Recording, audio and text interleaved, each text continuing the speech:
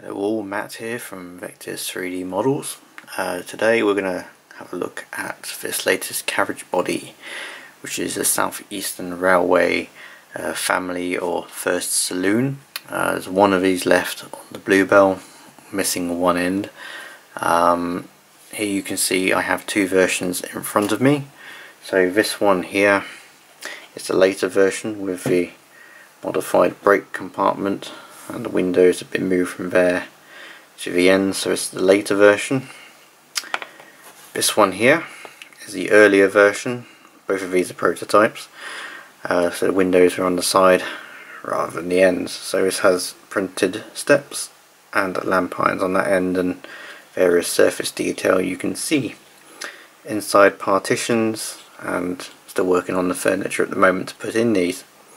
So it was designed a few years ago uh, not quite sure what chassis to put them on.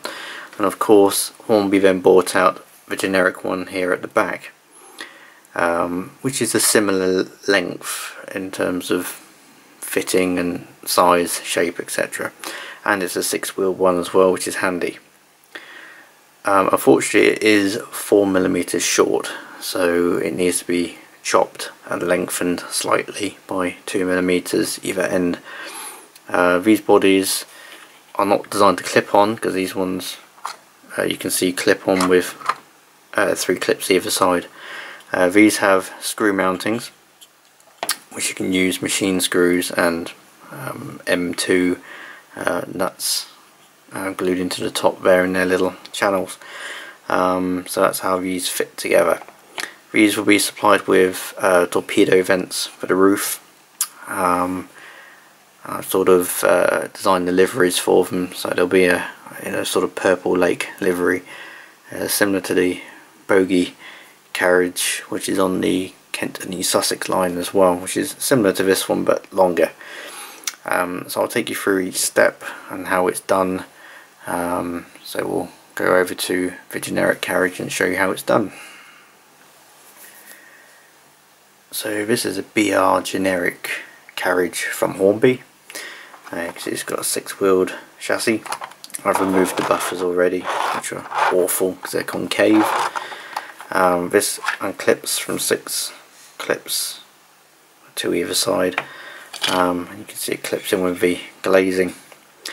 So these are quite cheap now, they're about 25, 26 pounds between that and 30. So unclip, remove that, don't need that, and you just need the chassis. What I've done is I've built up a little cutting jig so that will sit there and that can be tilted upside down and cut with a mitre block and a saw. So what I need to do is I need to cut off each headstock end and push them out by 2 mil either way. I've got some black plastic card which is 2 mil thick which should just do the trick. Uh, just showing you uh, the body shell. You can see is a little bit longer 2 mil each end of the uh, actual chassis. So I just need to lengthen the chassis and hopefully we can work on putting it all back together. Um, I might change the buffers while I'm at it as well uh, but we'll see. Um, so standard 6 wheel chassis cut both headstock ends off um, put some 2 mil plastic card behind the uh, headstocks lengthen it out and hopefully that should be the right length. So what I'll do now is I'll prep this ready to cut it and take some photos and I'll show you the next part. So welcome back. So I've now removed the two uh, buffer beams or headstocks um, using the mitre block and a razor saw. You can pretty much get those under £20 if you need one and they're always useful if you like cutting up things like I do. Um, so they've been removed, but what I might do in future is 3D print a spacer so it's the right shape, size, and it's a bit simpler to do rather than hacking through 2mm plastic card like I've done. So putting them to one side. Um, so this is the plastic card I'm using, it's 2mm thick and it's been just cut into a long strip, like you can see here, and cut off in width. Um, I roughened it up a little bit, taking the shine off of it, and then glued them onto the end. So there's one end here. So this is all glued with Araldite, which you can see here. Always use Araldite with injection molded plastic because nothing else works or sticks. Uh, so I've used that and it also works nicely just to fill any gaps. And as you can see I still need to clean off the ends and also the underside before re-gluing the headstocks on each end but you can see I've added that on here. And we are now getting to a reasonable length. It's a little bit short obviously because of uh, because the buffer beams are not on or headstocks are not glued on yet but you can see almost there. So next job is just basically tidy up um, re-glue the headstocks on and then we'll go on to the next part which is bit of a bit of a mystery because I haven't done it yet. So uh, this is all prototypical guessing or prototyping I should say. Just making sure it fits before you get it.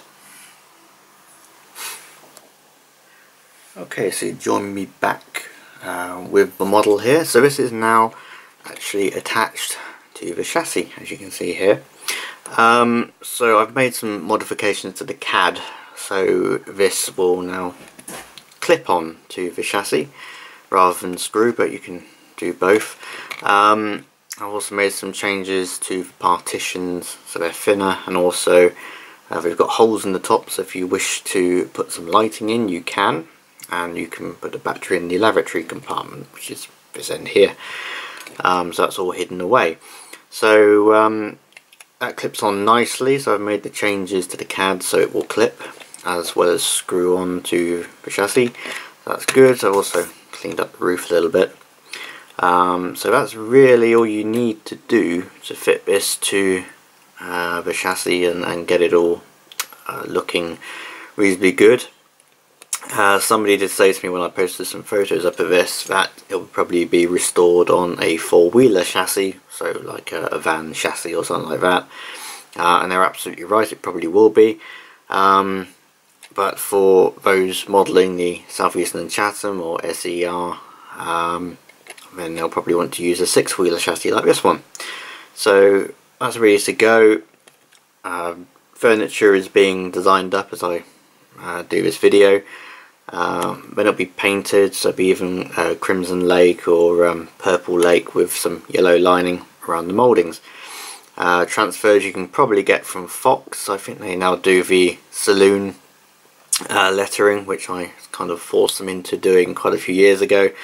Um, so that's pretty much all, all ready to go. Um, as I say this model will come with torpedo vents as well which I always uh, print anyway. So um, hopefully you found this video interesting and um, I'll put the finished product on the end and also in the gallery of the model itself on the Made Me website. So here we have the um, body shell on top of the chassis. So this is after the chassis has been extended by approximately 4 millimeters, and slight difference is now I've 3D printed some spacers which you can see just here. So these are the same as the underside for example. So uh, you can see here my temporary uh, 2mm shim to extend it um, has now been replaced with something 3D printed and in keeping with the underside of the chassis. So, and this is the correct length. So this body shell will just clip on like the old one. So it has the clips you can just see through the window. Uh, one there and one at this end and one down that end. So it's two either side.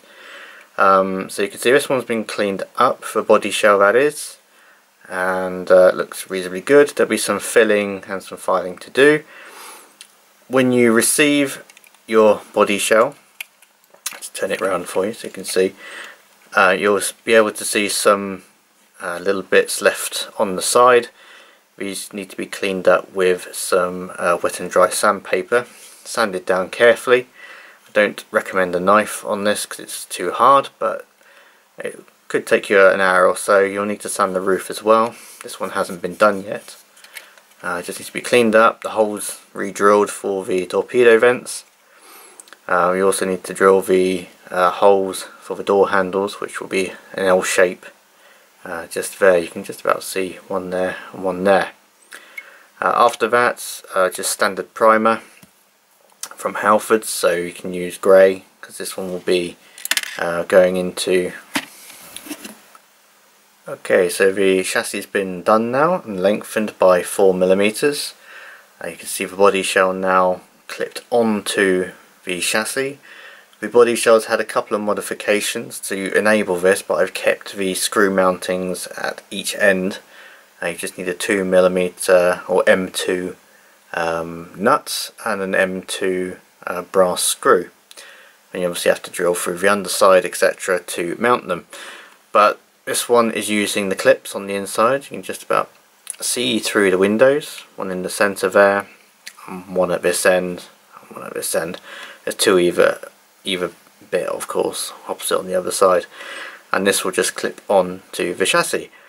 So this side's all been cleaned up on the body shell. Um, it will have you can probably see some um, support marks on the top. Just use some wet and dry sandpaper for that that will come off quite nicely uh, this is a late body shell you can see by the end um, on this side you can see I haven't cleaned this up I've just used on the other side some wet and dry sandpaper um, don't use a knife because you'll probably hurt yourself. Um, and it comes out quite nice. You'll probably need to do a little bit of filling but not too much. On the underside I've modified the CAD again. Um, now you can see on this end my 2mm shim to extend it out that way which is just black plastic card. But this is all part of prototyping. Um, so what you'll get in the kit I've 3D printed a 2mm thick um, extension to add to the chassis. So it in keeps with the underside of the um, chassis itself from Hornby. You can see those two here so one at each end. You can see the seating and the bench seats for the saloon. And of course there'll be two types of this so early and late versions. Um, but it fits together well. Tested both and uh, just needs painting. So if you do your research you can probably find out it's in I believe some sort of purple lake or crimson um, with some simple lining around the uh, mouldings. But other than that that is the kit. You'll need to supply your own chassis you need to supply your own paint lining transfers which I think you can probably get from Fox transfers I think um, you'll have the torpedo vents as well which aren't in the picture at the moment. Um, you'll need to do some drilling for the roof vents and also opening the holes which is 0.45 or 0.5 mil. Use brass wire which is 0.45 um, but what I'll do is I'll continue this recording uh, showing you finishing of it but for now that is pretty much how to modify the chassis and fit the body shell. Before I do go I will show you the inside of this early body shell so you can see all the modifications. So we've got the clips here for the chassis.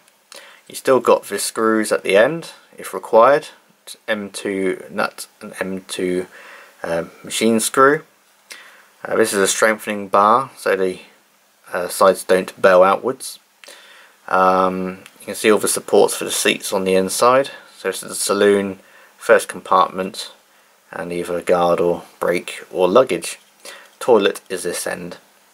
Uh, the other modification you can just about see there's holes in the partitions so you can fit lights and hide the battery in the toilet end if you wish. Um, but yes, it needs some finishing, painting. If you do need to sort of move the resin, put it in some hot 40 degree water and either clamp it or uh, do something along those lines to um, make sure it's straight. It does bow in a little bit here, but uh, well, I think I've sorted it out now on the newer prints. So hopefully, um, so hopefully these will be available towards early January, uh, maybe February. But uh, I've got a few printed now, so they should be available soon. Our price should be around about um, late 20s, early 30s. I just need to do some calculations. Uh, so it's the South Eastern Railway First Saloon, or Family Saloon. um, which you can find more information on the Bluebell Railway website. Thanks for watching and if you want to continue with these, watching how it's been produced and how to finish it, please tune into this channel um, and keep an eye out for future videos. Thanks for now.